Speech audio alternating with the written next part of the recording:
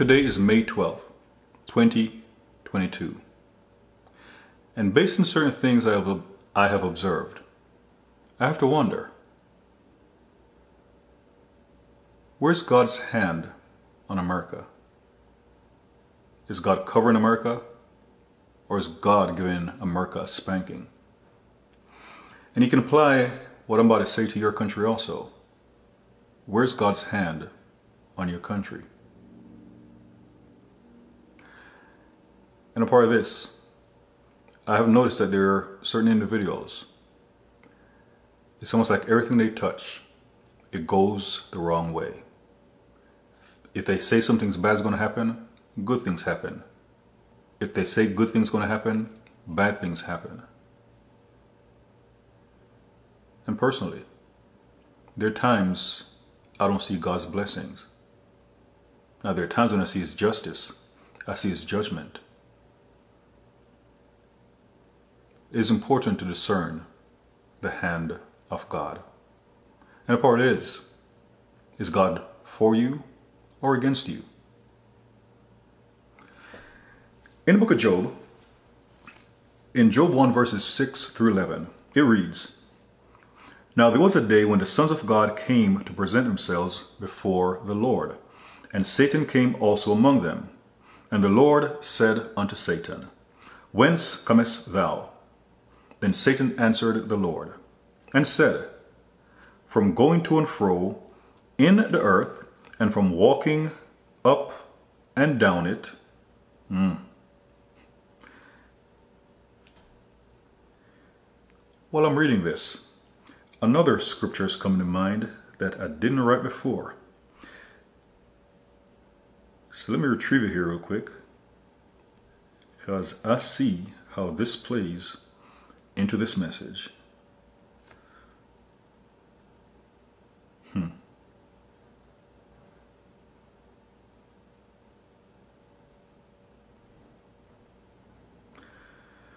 Oh my gosh.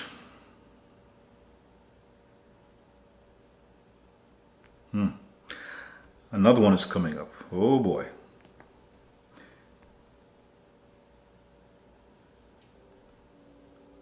Hmm. This is not good.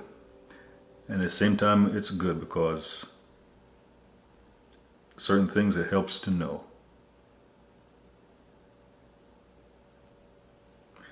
And you get another scripture here.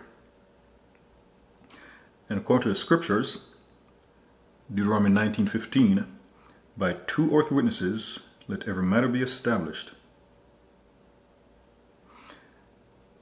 And of course, to some people, this may be a witness with you regarding what you have been discerning, or maybe what the Lord has told you. Hmm.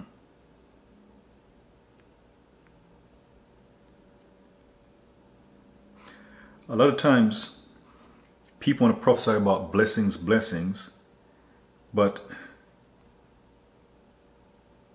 there can be blessings, blessings when people are doing evil and they're not repenting. And there's something that God is against, and that is a shedding of innocent blood. And even in Genesis 4, when Cain killed Abel, his innocent blood was calling out to the Lord. In Revelation 6, it speaks about those who are in heaven calling out to the Lord for justice for their blood that was shed on the earth. Does America have some blood on its hands that's crying out to the Lord from even the ground?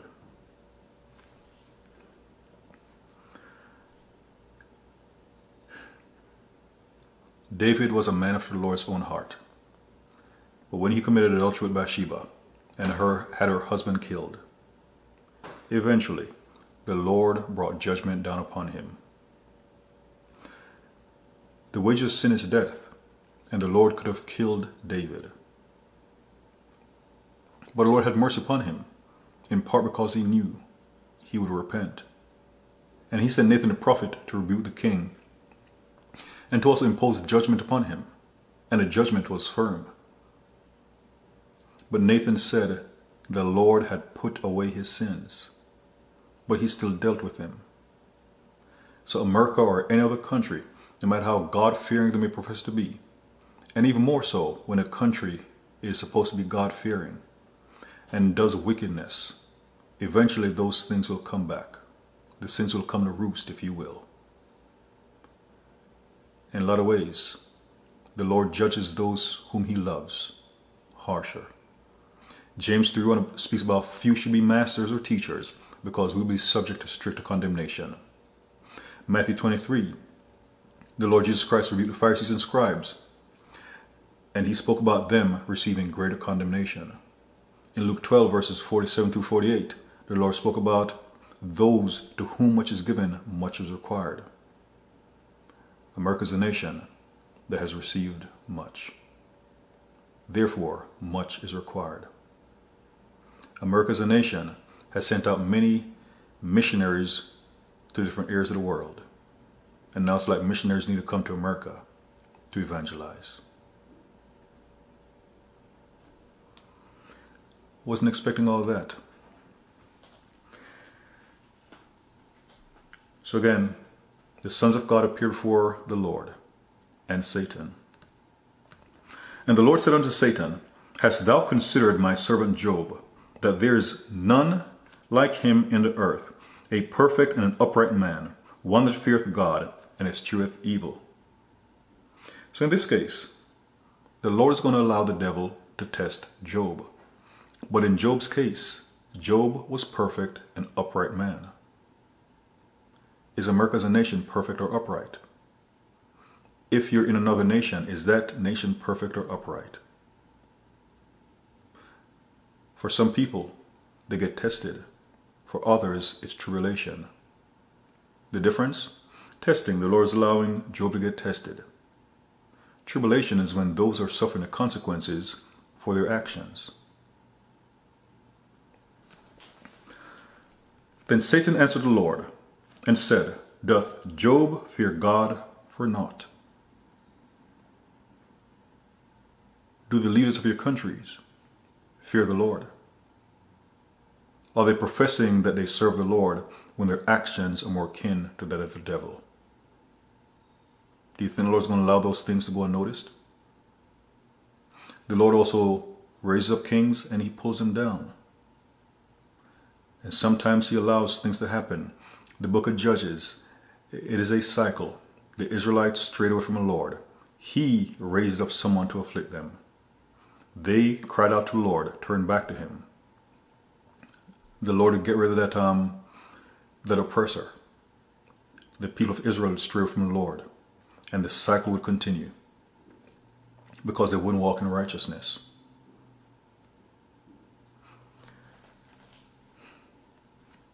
Choices have consequences.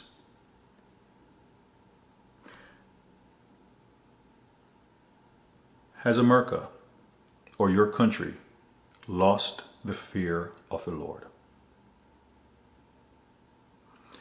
And one of the litmus test that a country's leadership has lost the fear of the Lord is that they'll even use the Lord's name to justify wickedness, things the Lord is clearly against.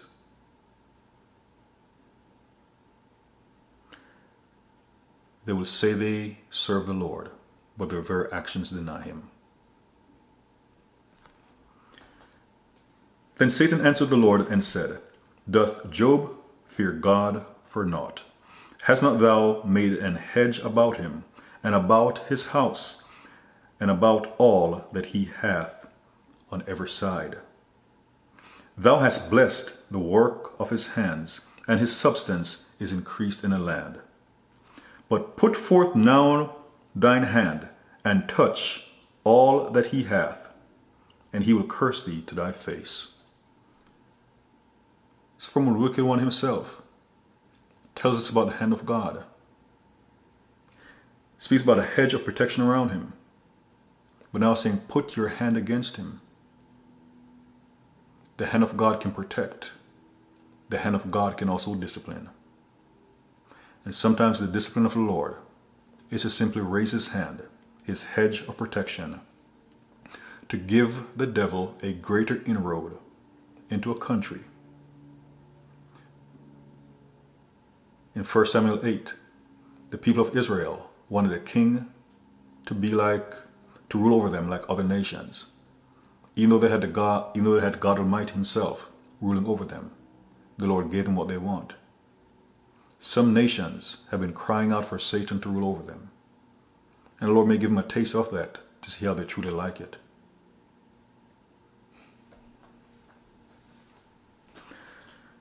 While I was reading a while ago, one of the first scriptures that came to mind when I speak about nations doing wickedness. Eventually, judgment comes. Those sins come to roost.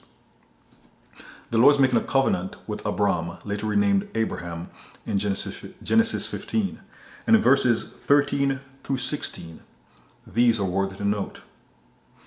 And he, meaning God, said unto Abram, Know of a surety that thy seed shall be stronger in a land that is not theirs, and he shall serve them, and they shall afflict them four hundred years.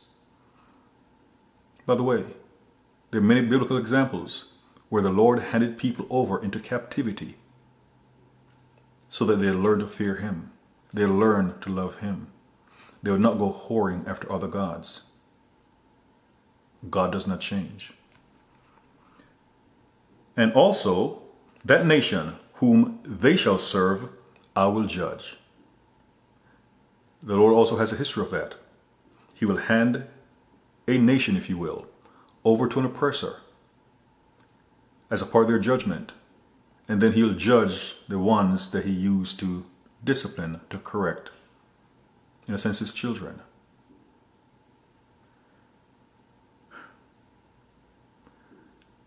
I've said this before.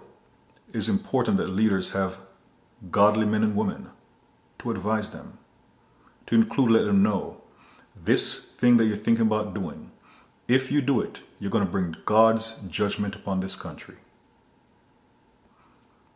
Joseph was a governor in Egypt. He advised the Pharaoh. Whether Pharaoh listened or not, that'd be on the Pharaoh. But it's almost like the Pharaoh gave the, Joseph the keys to the kingdom. Daniel was an advisor to several kings who didn't know God. But because of Daniel, they at least listened. But in Daniel 4, King Nebuchadnezzar received a warning from the Lord. Daniel told him about his pride and about keeping in check. If not, things would come upon him. The king didn't listen. He learned the hard way. It is important for leaders of nations, especially those who say they're God-fearing nations, to have godly men and women who will stand up to those leaders. Micaiah in 1 Kings 22, he told King Ahab the truth. The same thing with Jehoshaphat, king of Judah. John the Baptist, he told King Herod the truth. It wasn't lawful for him to have Herodias, his, his brother Philip's wife. It cost John his life, but at least he spoke the truth. So back to Genesis 15, 13 through 16. So Lord saying the children of Israel would be in captivity for 400 years, but he would judge the Egyptians. Well, now see a segue to a scripture they have coming up. And afterward, shall they come out with great substance. That's part of the Lord's mercy, even in judgment. And thou shalt go to thy fathers in peace thou shalt be buried in a good old age. But in the fourth generation they shall come hither again, for the iniquity of the Amorites is not yet full. The iniquity of the Amorites. So all their sinful ways, all their hard hardness, the Amorites, the Lord is keeping track of that stuff. And eventually it's going to get to a point where it's going to, where it's going to come back upon them America and every nation in this world, what have you been doing? What kind of iniquity has been building up for the Lord to pour out upon you? Or to at least remove his hand? The Israelites will be in captivity for 400 years. There are times when the Lord, he waits for hundreds of years to bring justice. So something that's going on now, maybe because of something that wasn't atoned for.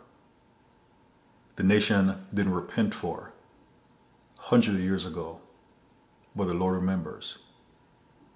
So we see here about the iniquity of the Amorites is not yet full. So it's like they're sinning. And sometimes people are sinning and they're getting away with it and they think they keep on getting away with it. Another example. This second one that came to me while I was reading from Job 1 in Revelation 18, verses 1 through 9. After and after these things, I saw another angel come down from heaven, having great power, and earth was lightened with his glory. And he cried mightily with a strong voice, saying, Babylon the Great is fallen, is fallen, and is become the habitation of devils and the hold of every foul spirit, and a cage of every unclean and hateful bird. For all nations have drunk of the wine of the wrath of her fornication, and the kings of the earth have committed fornication with her, and the merchants of the earth are waxed rich through the abundance of her delicacies. And I heard another voice from heaven saying, Come out of her, my people, that ye be not partakers of her sins, and that ye receive not of her plagues. For her sins have reached unto heaven, and God hath remembered her iniquities. What are the iniquities in your country? What are the things that have been building up? Keep on getting worse. People are celebrating sin. Hmm.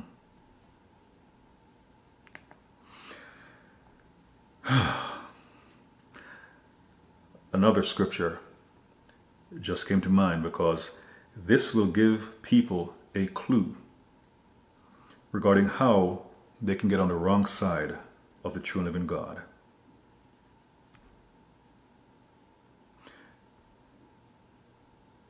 In Proverbs 6, start verse 16, it is written, These six things doth the Lord hate Yea, seven are an abomination unto him. Abomination. A proud look, a lying tongue, and hands that shed innocent blood. I mentioned this before the shedding of innocent blood. And heart that deviseth wicked imaginations, feet that be swift in running to mischief, a false witness that speaketh lies and he that soweth discord among the brethren. There are six things that God hates. Seven are an abomination. One of them includes the shedding of innocent blood. In nations where the taking of innocent lives, especially unborn children, doesn't get more innocent than that where the taking, the shedding of innocent blood is not simply tolerated, but even celebrated. Nations have slid into a greater level of debauchery. When you start celebrating the murder of innocent children, that is iniquity in action. When you start celebrating it, when you start boasting about how many abortions you've had and you show no remorse, that is iniquity of work, at work. That is what invites God's judgment. When a heart is so hardened that the loss of a life no longer matters. It is not simply tolerated, it is celebrated.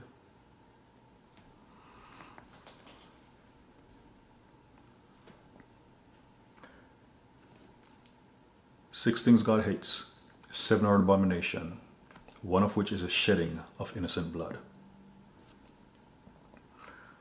Continuing Revelation 18, verses 1 through 9. So another voice saying, Reward her even as she rewarded you, and double unto her, double according to her works. Things come back.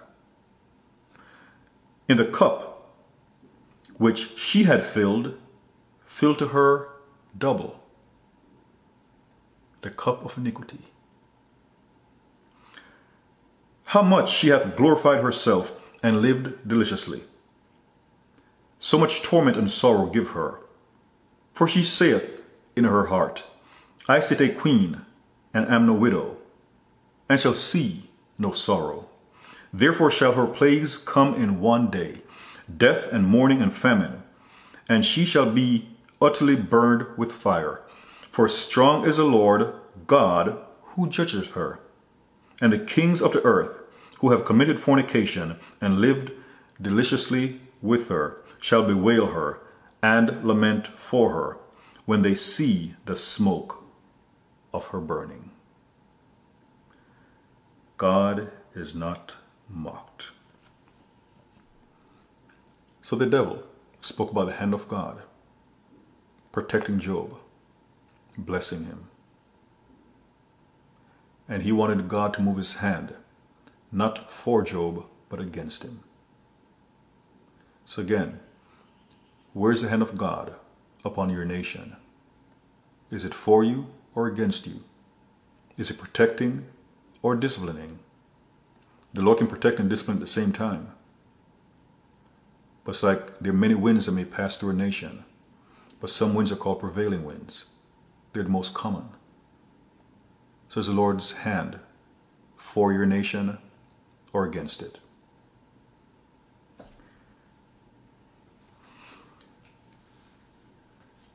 So in Genesis 15, the Lord spoke about the children of Abraham, or Abram, being in Egypt for 400 years. At the time for their release, the Lord sent Moses down to Egypt to tell the Pharaoh of Egypt to let the Lord's children go. The Pharaoh hardened his heart. Even after Aaron had thrown down his rod and turned into a serpent, the magicians were able to replicate the same thing. They threw down their staff and turned into a serpent. But something happened that set the tone already. Where Aaron's rod had turned into a serpent, ate the magician's rods had turned into serpents. But Pharaoh still hardened his heart. Then the Lord started having Moses call down different plagues.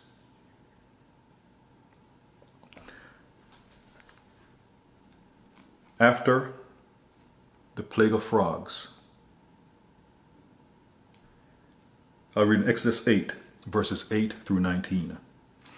Then Pharaoh called for Moses and Aaron and said, Entreat the Lord that he may take away the frogs from me and from my people, and I will let the people go, that they may do sacrifice unto the Lord. It seems genuine, huh?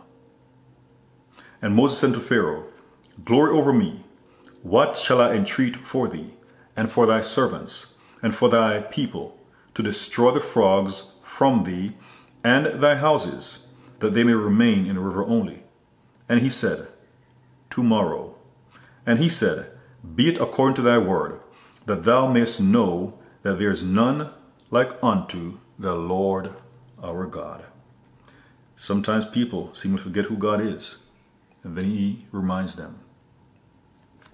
And the frogs shall depart from thee, and from thy houses, and from thy servants, and from thy people. They shall remain in the river only. And Moses and Aaron went out from Pharaoh. And Moses cried unto the Lord because of the frogs which he had brought against Pharaoh. And the Lord did according to the word of Moses. And the frogs died out of the houses, out of villages, and out of the field. And they gathered them together upon heaps, and the land stank. I'm not sure if you ever smelled dead frogs before. Of course, nothing dead is pleasant. So Pharaoh, his sorcerers, his occultists could not call off the plagues. Clearly, the Lord God who Moses and Aaron were serving was mightier. To the point where he had to beg Moses to appeal to the Lord to call off the frogs. So these plagues was let him know. When you see a bunch of stuff going wrong, and it's like everything is going wrong, the question should be asked Where's God's hand in this? Are these things from the Lord? Because when the Lord's resisting a person, a group, or up to a nation, or even this entire world. There's no greater resistance than that. And it must be discerned. But when Pharaoh saw that there was respite, he hardened his heart and hearkened not unto them, as the Lord had said. So got a break and harden his heart. And there are times when people say about if we who are called by his name, if we humble ourselves and call out to the Lord about him having mercy upon us. And the Lord's done that many times. But there comes a point where if people don't learn the hard way, they're not going to learn at all.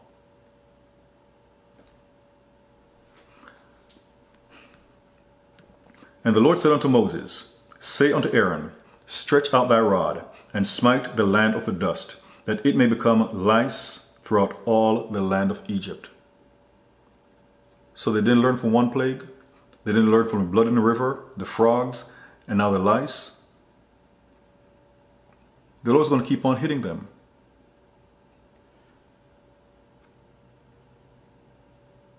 So again, and the Lord said unto Moses, Say unto Aaron, Stretch out thy rod, and smite the land of the or the dust of the land, that it may become lice throughout all the land of Egypt.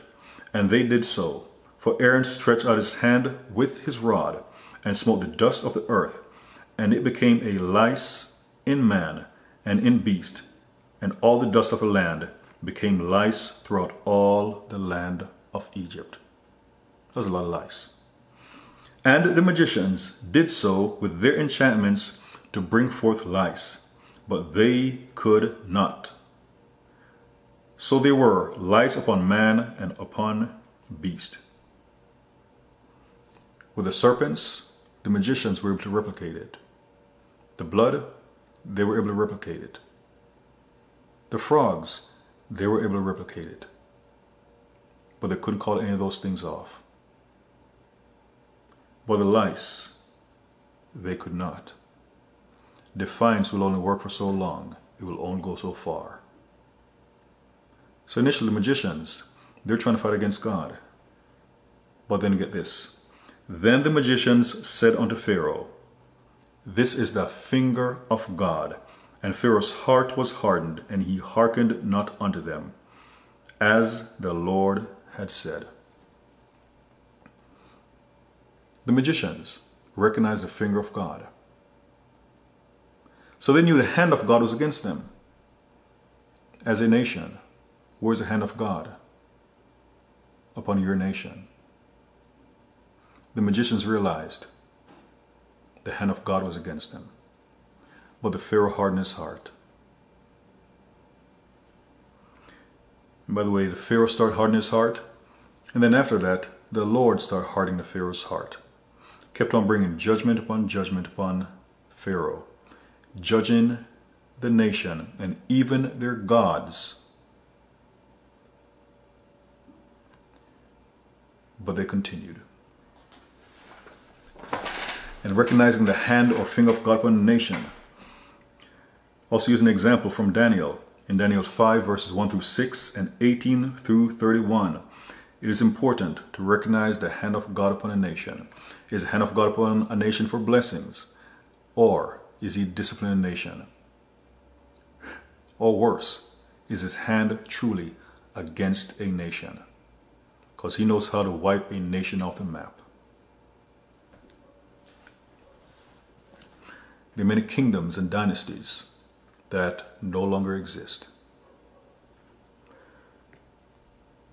in Daniel 5.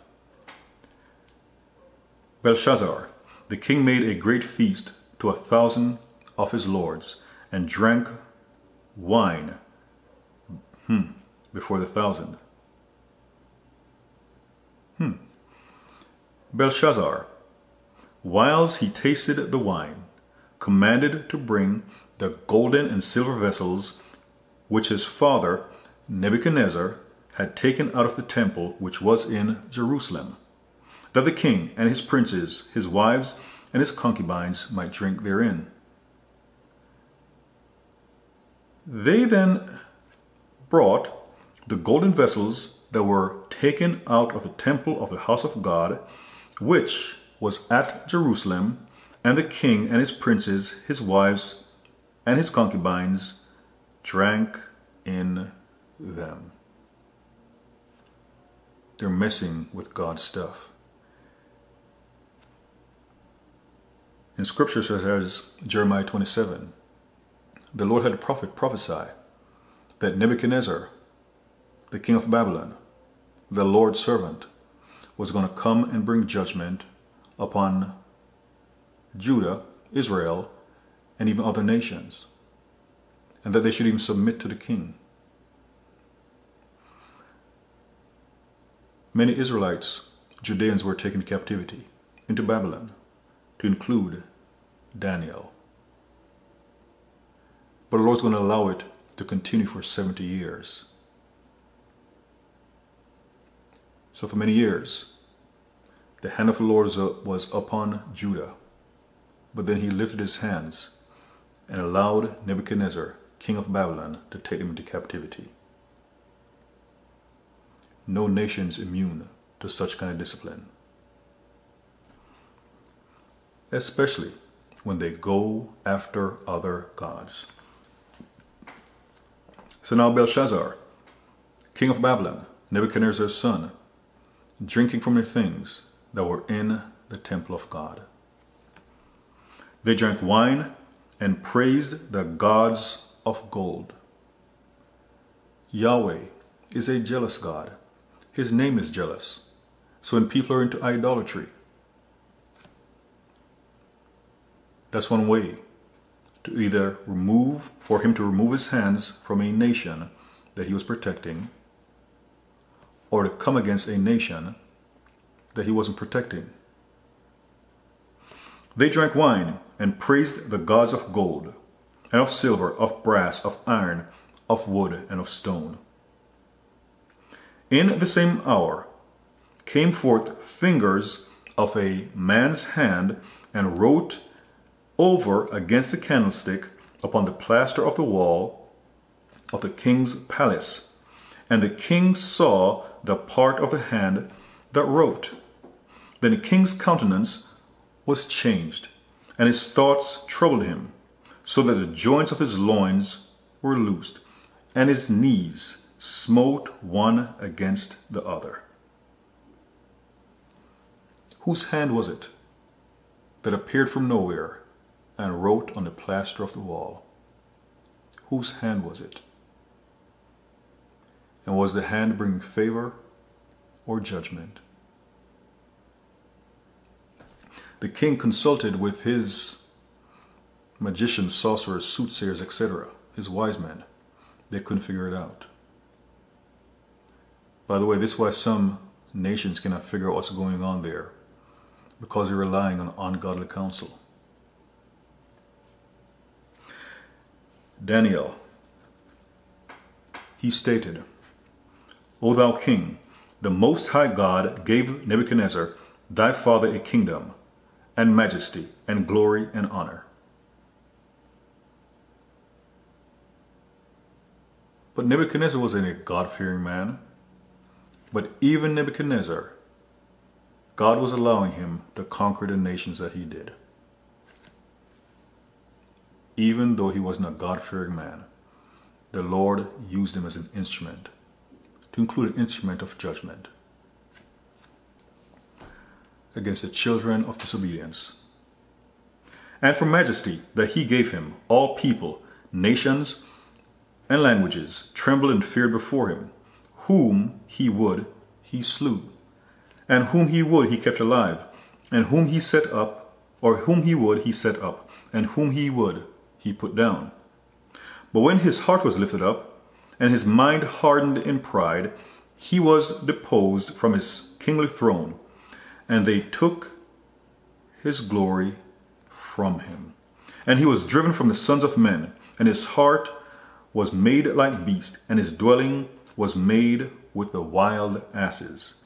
They fed him like with grass like oxen, and his body was wet with the dew of heaven, till he knew that the Most High God ruled in the kingdom of men, and that he appointed over it also, or that he appointed over it whomso, whomsoever he will. Whether your country is ruled by a monarch or someone you vote for, God is still in charge. Even if a person isn't professing Yahweh as God, Yahweh is still in charge.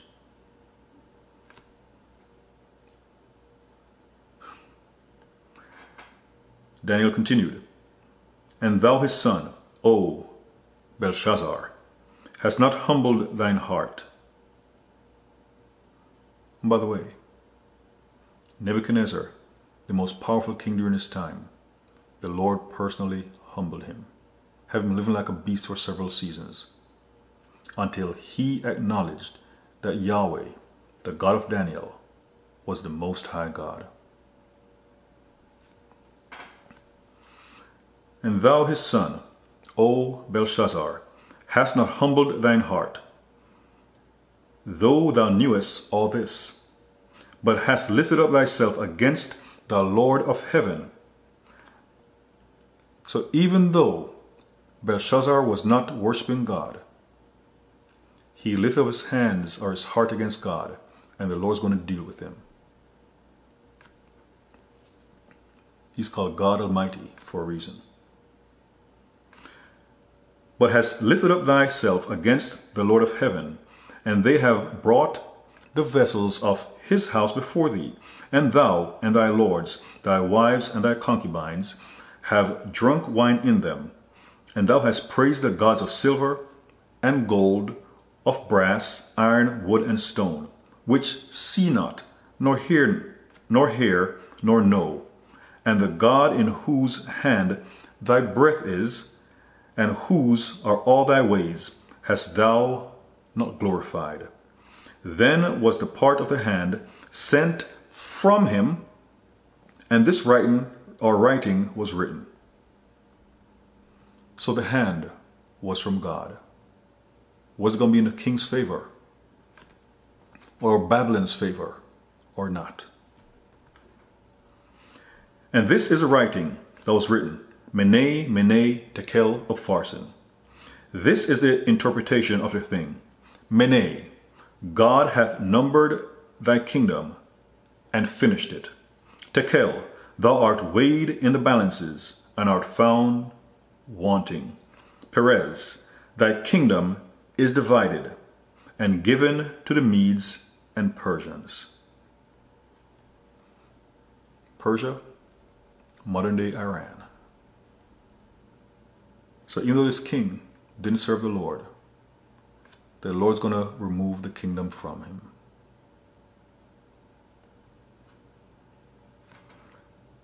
He wanted to know what the writing on the wall meant. Daniel let him know. The hand from God was against him. Judgment had been proclaimed on him.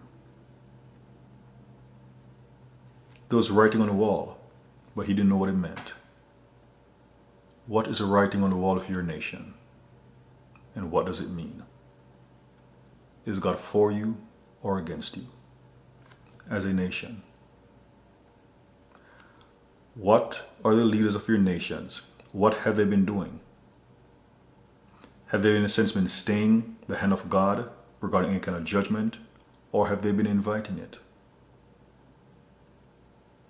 Even in the history of Israel, Kings such as Jeroboam the son of Nebat led the ten northern tribes, Israel, into idolatry, brought down the Lord's judgment. Another king such as Manasseh brought down the Lord's judgment because of the things they did in leading the country. The leaders of your nation, it matters. They help to dictate whether the hand of God is going to be for the nation or against the nation. Then commanded Belshazzar, and they clothed Daniel with scarlet, and put a chain of gold about his neck, and made a proclamation concerning him, that he should be the third ruler in the kingdom. In that night was Belshazzar, the king of the Chaldeans, slain. And Darius the Median took the kingdom, being about threescore and two years old. So 62 years old.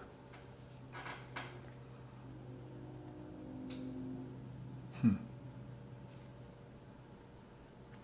Darius the Median took the kingdom.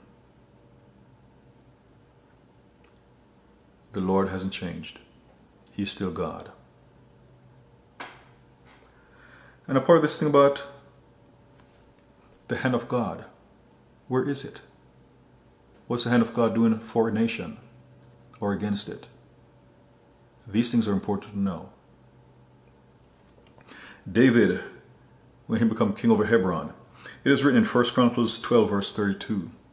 And the children of Issachar, which were men that had understanding of the times, to know what Israel ought to do.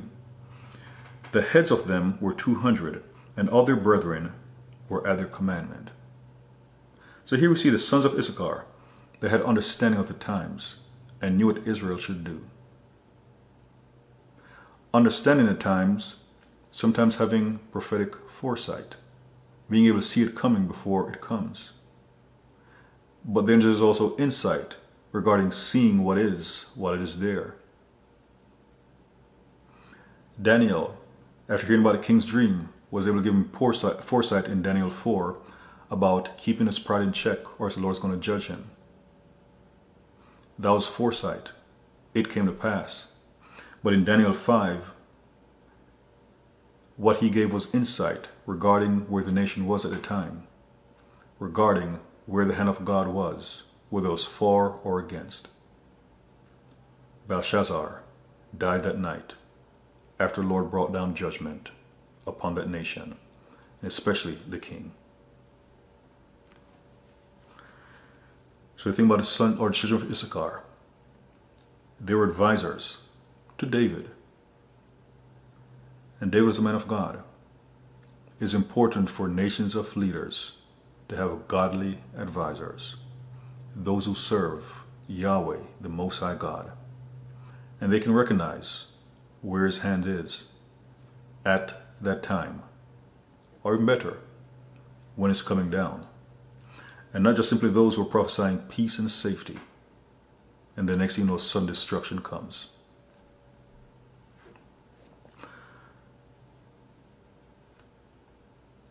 In Exodus 32, we also see another importance of leaders having godly men and or women around them. Intercession is a very important, for example, of or function of a prophet's ministry, for example. And intercession is not just limited to prophets. In Acts 12,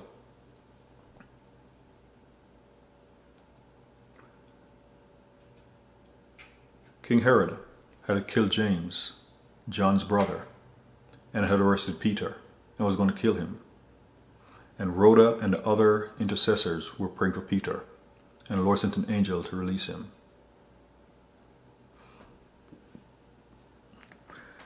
Intercession is very important. Intercession is also how some people gain revelation. And if people are not interceding, praying to the right God. Sometimes a nation goes the wrong direction. But also part of intercession is that leaders will listen to the intercessors. Because there's power in intercession. And we see that regarding the nation of Israel. When they went astray, soon after the Lord had delivered them from the hands of the Egyptian, after the ten plagues, after parting the Red Sea. And I see a theme in this message regarding idolatry. The Israelites had not seen Moses in 40 days. He was with the Lord on Mount Sinai. And they decided to build a golden calf, something to worship, something to put in place of the Most High God. And when the Lord saw what they're doing, he was displeased but thanks to Moses.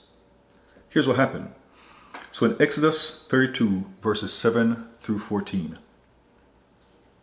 And the Lord said unto Moses, Go, Get thee down, for thy people, which thou bringest or broughtest out of the land of Egypt, have corrupted themselves. So for some people, they start off right, but right now they're on the wrong path.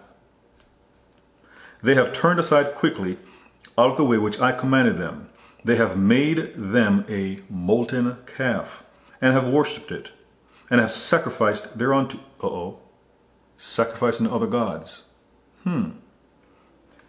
And said, These be thy gods, O Israel, which have brought thee up out of the land of Egypt. And the Lord said unto Moses, I have seen this people, and behold, it is a stiff necked people. So it's like those who refuse to repent of their sins. Now therefore, let me alone, that my wrath may wax hot against them, that I may consume them. And I'll give, and I'll make of thee a great nation. So in Genesis 15, the Lord promised Abram, later renamed Abraham, that his children would be in captivity for 400 years, then he was going to bring them out. As a part of his fulfillment of the promise he made to Abram in Genesis 15 or Genesis 12, he was going to make them a great nation. But now the Lord is going to destroy them, or at least most of them, and he was going to, in a sense, start from scratch by using Moses and going to use him to raise up sons of Abraham, sons of Israel.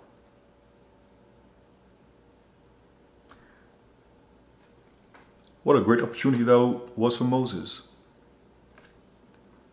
And Moses besought the Lord his God and said, Lord, why doth thy wrath wax hot against thy people? Initially, the Lord was saying they were Moses' people, but now Moses is putting it back on the Lord which thou hast brought forth out of the land of Egypt with great power and with a mighty hand. Wherefore should the Egyptians speak and say, For mischief did he bring them out, to slay them in the mountains and to consume them from the face of the earth. Turn from thy fierce wrath and repent of this evil against thy people.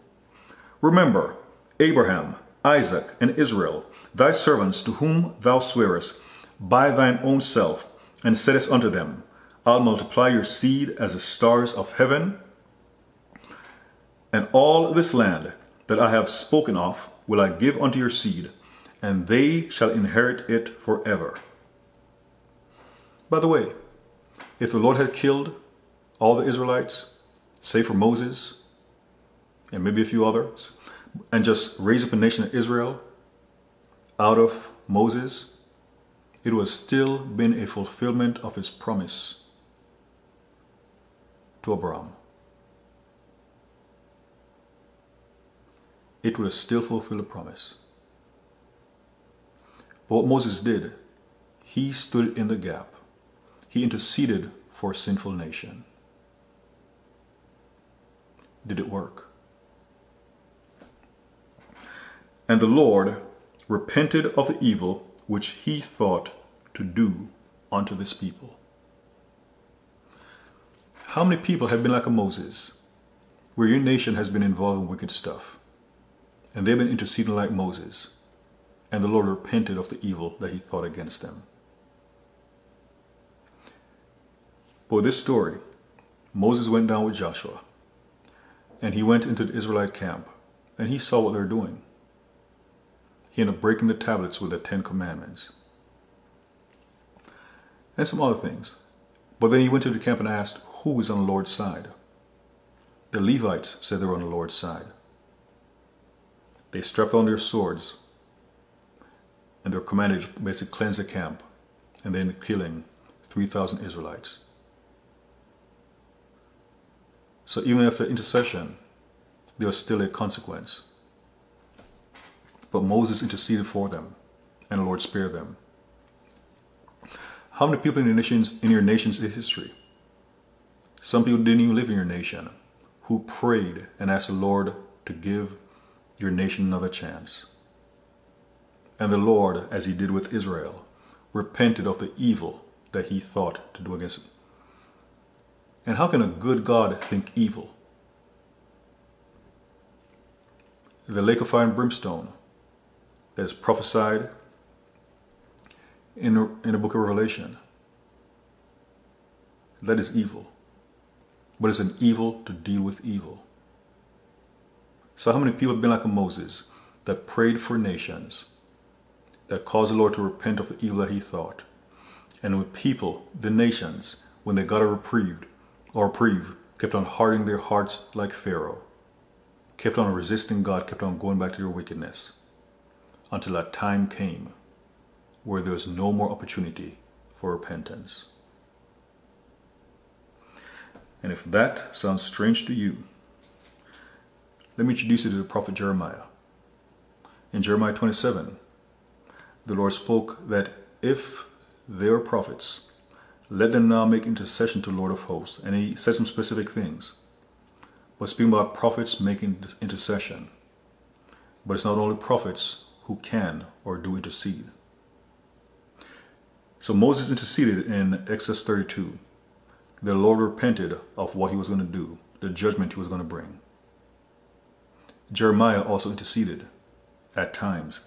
But in Jeremiah 7, verses 16 through 20, it is written, The Lord said, Therefore pray not thou for this people, neither lift up cry or prayer for them, neither make intercession to me, for I will not hear thee.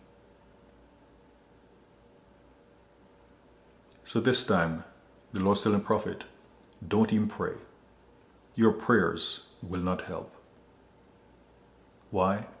The time for judgment comes. In 1 Peter 4, it is also written that judgment begins in the house of God. Also speaks about it is better to suffer as a Christian as an, than as an evildoer. God is not mocked. So here the Lord is telling prophet, don't bother praying, don't bother crying out. Let's see why. Seest thou not what they do in the cities of Judah and in the streets of Jerusalem? Their children gather wood, and the fathers kindle the fire, and the women knead their dough to make cakes to the queen of heaven. So we see idolatry. And to pour out drink offerings unto other gods, that they may provoke me to anger. Do they provoke me to anger, saith the Lord? Do they not provoke themselves to the confusion of their own faces? Therefore, thus saith the Lord God, Behold, mine anger and my fury are shall be poured out upon this place. It's like iniquities go down, and then they come back or go up, and then they come down in form of judgment. So again, behold, my anger and my fury shall be poured out upon this place, upon man, and upon beast, and upon the fee or upon the trees of the field, and upon the fruit of the ground, and it shall burn, and shall not be quenched. But if you think that's the only time the Lord ever told someone, don't even bother praying, don't bother interceding, because judgment has come. Well, in Jeremiah 14, verses 11 through 16, it is written, Then said the Lord unto me, Pray not for this people for their good. When they fast, I will not hear their cry. And when they offer burnt offering and an oblation, I will not accept them. But I will consume them by the sword, and by famine, and by pestilence. Then said I, Ah, Lord God, Behold, the prophets say unto them, Ye shall not see the sword, neither shall ye have famine. But I will give you assured peace in this place. Then the Lord said unto me, The prophets prophesy lie in my name.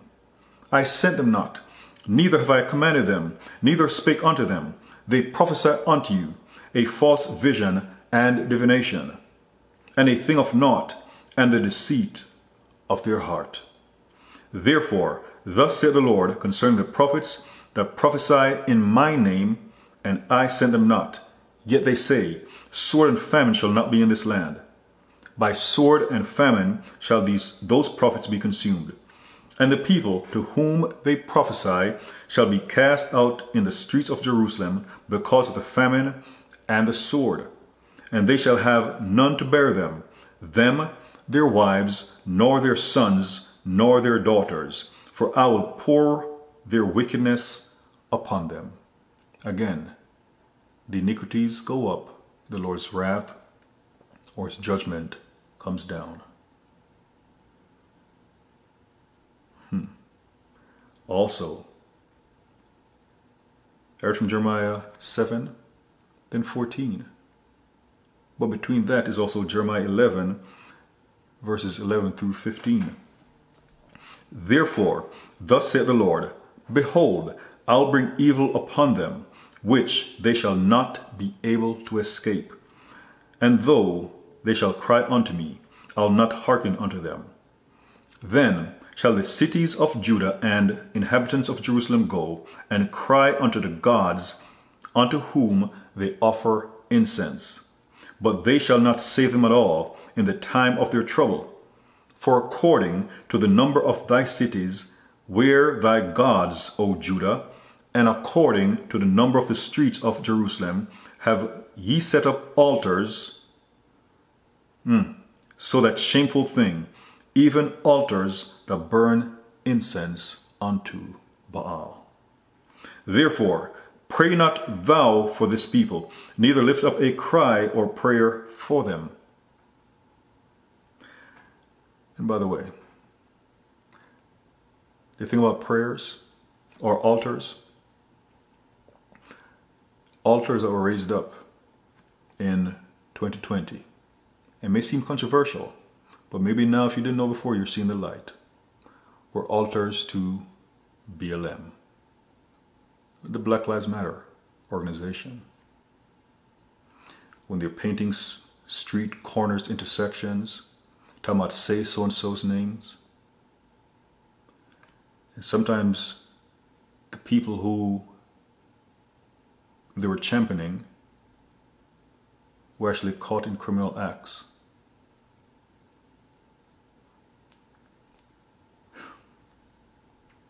Raising up altars to all kind of things. God loves righteousness and he loves justice. So if anyone was not given justice, the Lord loves justice. For I will not hear them in the time that they cry unto me for their trouble. What hath my beloved to do in mine house, seeing she hath wrought lewdness with many? And the holy flesh is passed from thee. When thou doest evil, then thou rejoicest. So Jeremiah 7, 11 to 14.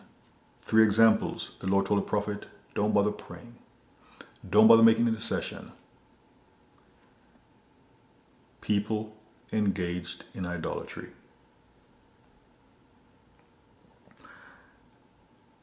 Now, something we can learn regarding the hand of God is for or against us is from the story of Balaam.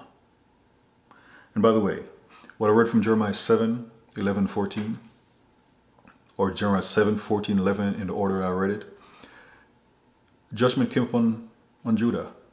It came to the point where people resorted to cannibalism because there was a famine. The Lord made a way of escape for Jeremiah, where he didn't suffer like them, but he suffered some things. He wasn't taken into captivity. He wasn't taken to Babylon. So even in punishment, the Lord can still offer protection. When the Lord tells certain people not to pray, judgment has come. But Balaam, the Bible lists him as a prophet, but in Joshua 13, it refers to him as a soothsayer. Also, when he's introduced in the Bible, it speaks about him charging a fee for divination. That's one of the things that was mentioned. Those who are divining, those who are having visions of their own heart, the deceit of their heart. But interestingly, Balak saw the Israelites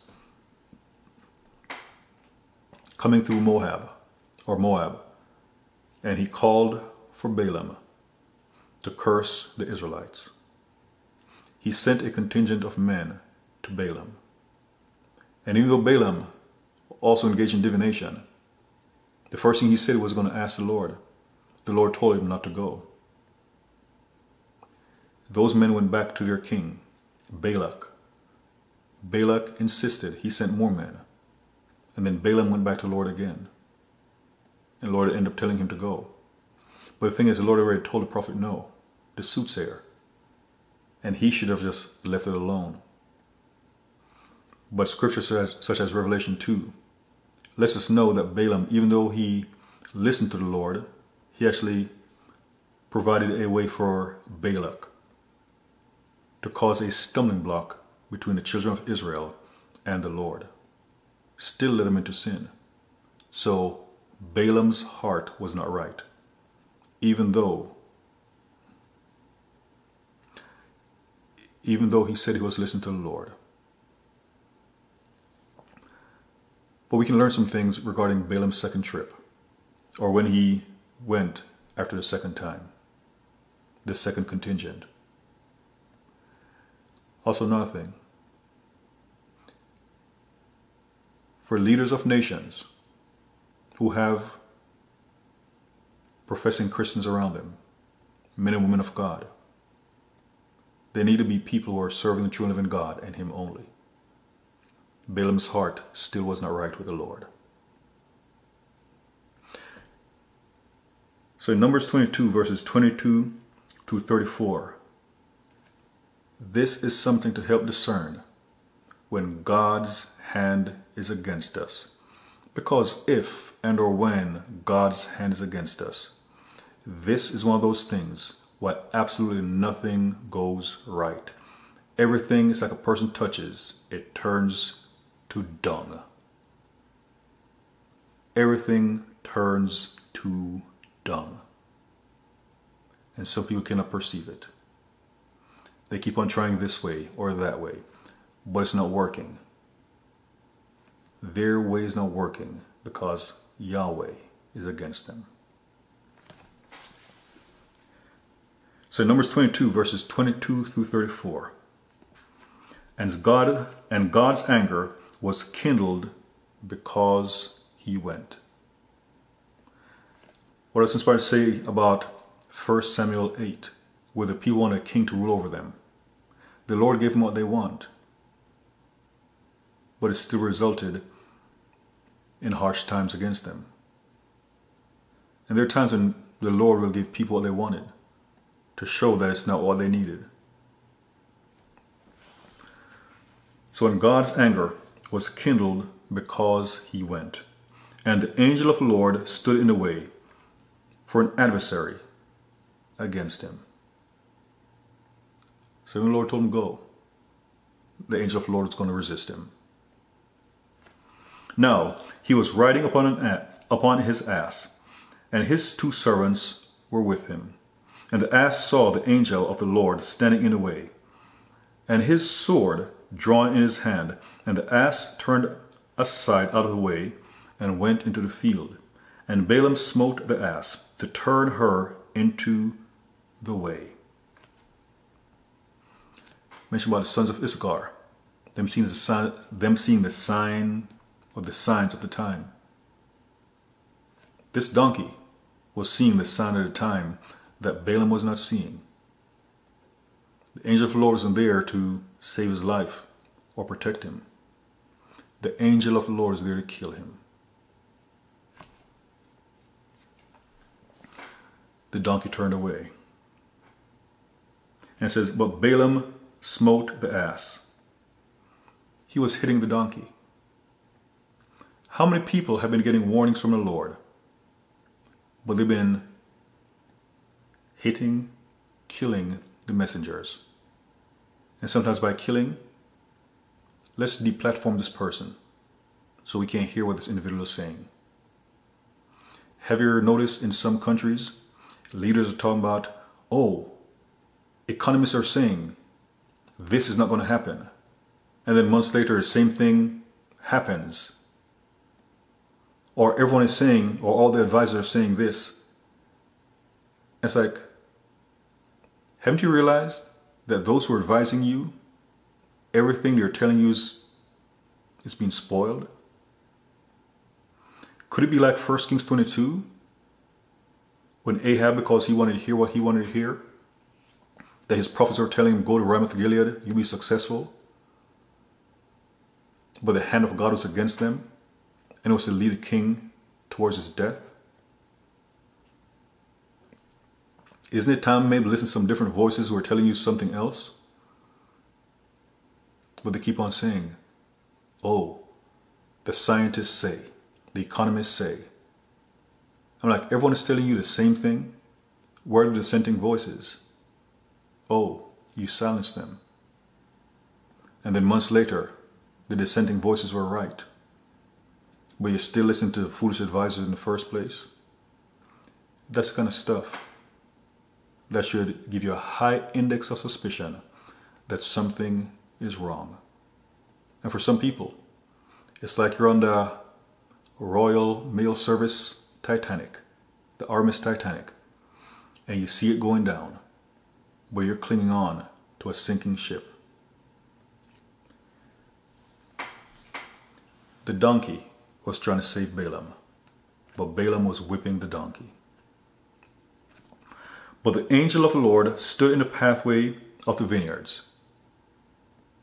So went one way, the angel of the Lord went there to go resist him. A wall being on this side and a wall on that side. When the ass saw the angel of the Lord, the, she thrust herself onto the wall and crushed Balaam's foot against the wall, and he smote her again Again, yes, it hurt Balaam. At first, maybe embarrassing, the donkey turning aside. Now the donkey is crushing him. And it seems that the donkey is against Balaam, but the donkey was actually for him. And the angel of the Lord went further and stood in a narrow place where there was no way to turn, either to the right hand or to the left.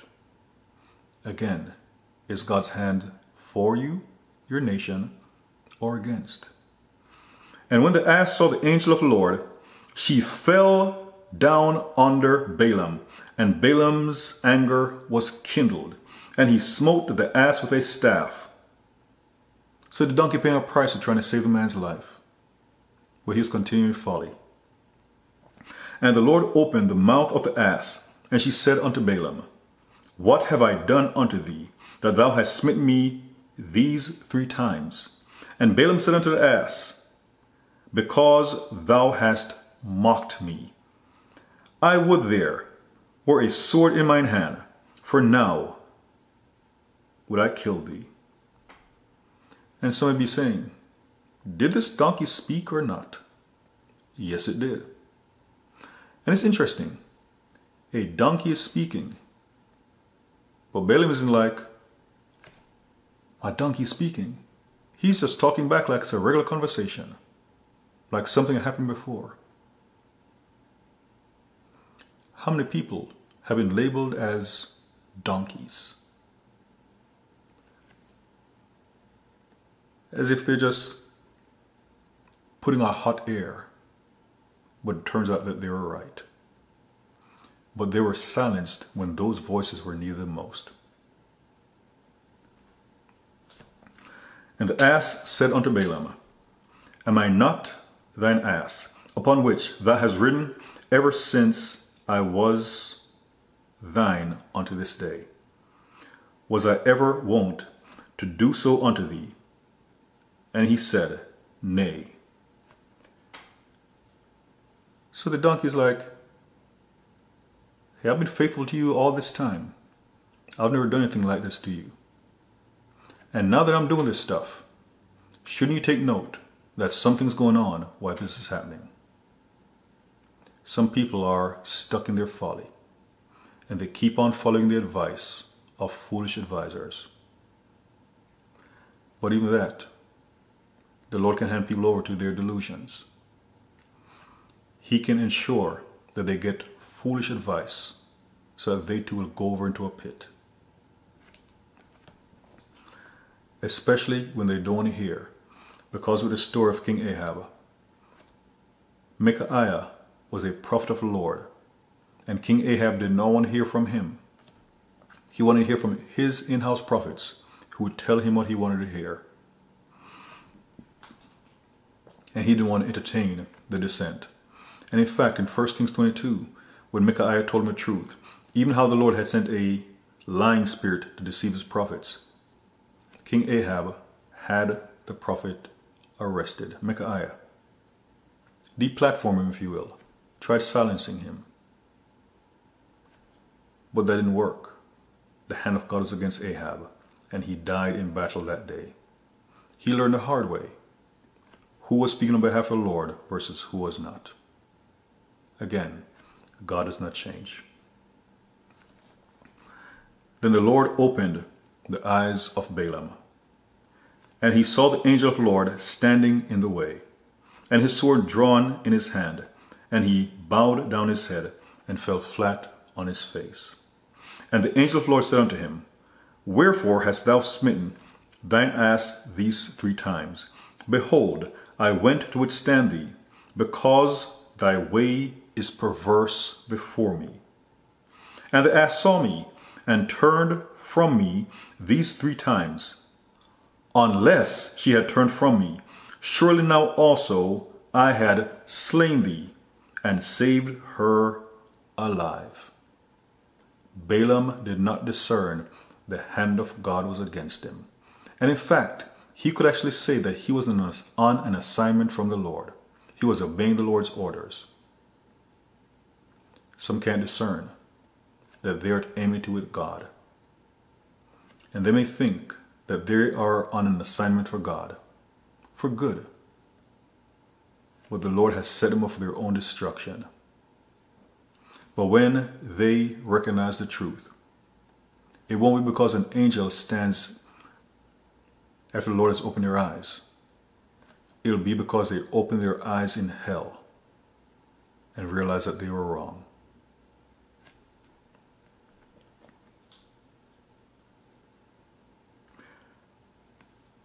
So back up again. Behold, I went out to withstand thee, because thy way is perverse before me. Perversion, it draws God, it draw, draws God's ire. In Isaiah 5, especially like in verse 20, woe unto those who call evil good and good evil. That is perversion saying right is wrong and wrong is right? Are there perverse leaders over your country? And the ass saw me and turned from me these three times. Unless she had turned from me, surely now also I had slain thee, and saved her alive. And Balaam said unto the angel, I have sinned, for I knew not that thou stoodest in the way against me. Now therefore, if it displease thee, I'll get back again.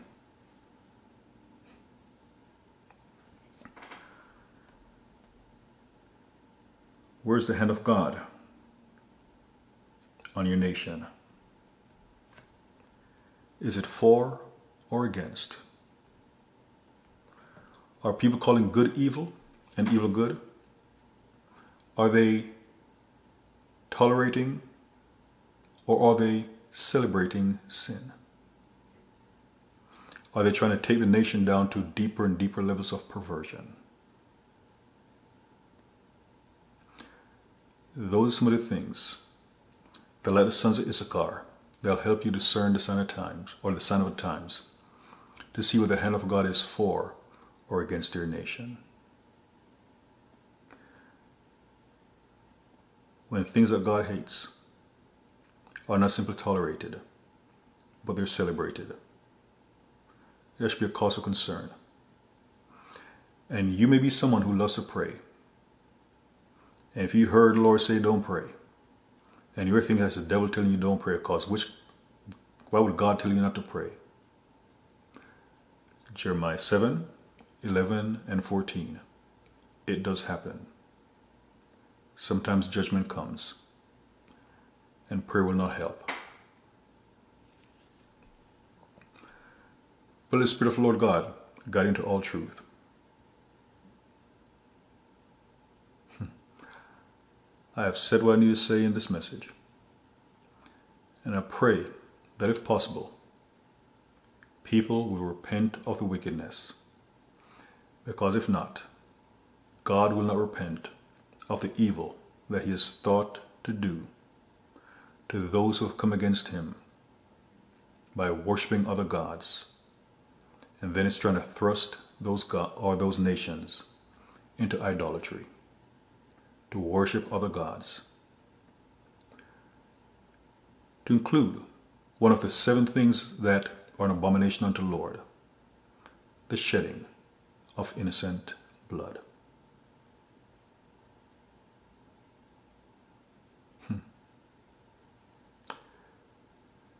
For those who want to get drunk on the blood of the innocent, the sword of the Lord will get drunk on your blood. God is merciful until he's not. It is a terrible thing to fall into the hands of the true and living God.